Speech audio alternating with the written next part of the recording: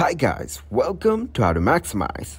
In this video, I will show you how to fix if your account has been disabled in the App Store and iTunes. First, go to Settings in your mobile device. Scroll down and open General Settings. Now go to Software Update.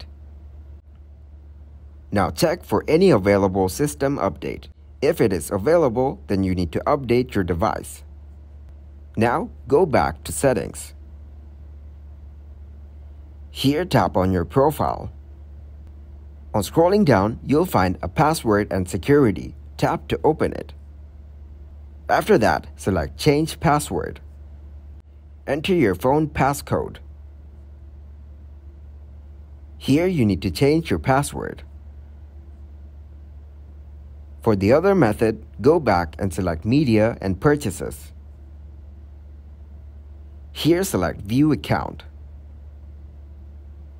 Now go to Country or Region. You may select your country from the list. Agree with the terms and conditions. Again select Agree. Then select your payment method.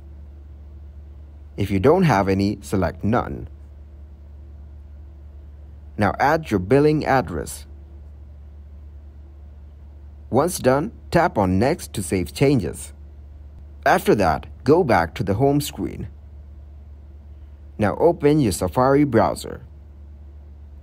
Here, search for forgot.apple.com. Here, click on Reset your password to recover your Apple ID. For the other way, search support.apple.com in your browser. Here, select your device. Now scroll down and select Start Now right below the Get Support option. You need to sign in first. Once you're signed in, scroll down and select Show All.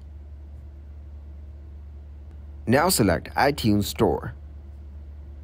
After that, you need to tap on Chat. Enter your details along with Report and select Continue. Apple's team will contact you back. In the chat section, you need to discuss the problems you're facing. Thanks for watching and please leave a like, subscribe, and share.